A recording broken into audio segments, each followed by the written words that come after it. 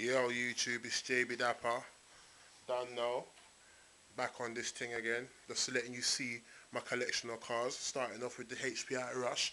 This was my first one, which as you can see, it's still decent. I've had this for about, I say, five, six years now. And I've looked after it, maintained it quite well. As you can see, that still runs, but I don't really play with it as much because it's not as good as the others. Moving on, my latest one was the Revo 3.3. This thing's mad.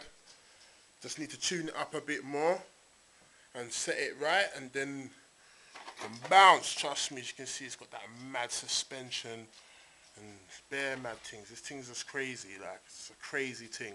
It's just crazy, it's crazy, it's crazy. I'm never gonna get into that. Just watch the other videos that I've got on my site.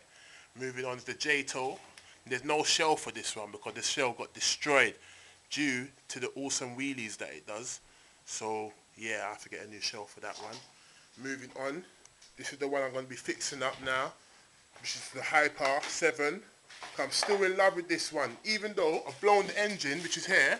I've blown the engine at least two times now. So I have to buy a new engine for this one.